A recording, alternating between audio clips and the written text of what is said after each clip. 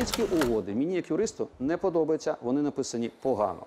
І особливо пункт, в якому сказано, що спочатку вибори, а потім наступного дня після виборів починається взяття контролю з боку українського уряду над спільно україно-російським кордоном і має бути завершена, як сказано в оригіналі, до повного всеоб'ємлющого урегулювання. Я не сприймаю цю фразу, і я тут застосував саме в цій студії термін модернізація мінських угод, щоб не сказати слово їх переписати, якщо взагалі не відмовлятись від них. І моя чітка позиція сьогодні цю позицію висловлює президент України, керівник його офісу, народні депутати, представники переговорної групи Леонід Кучма про те, що це неприпустима умова, і не будемо на такій умові виконувати мінські угоди. Спочатку контроль над кордоном між Україною і Росією з боку українського уряду, після того фінал політичного регулювання.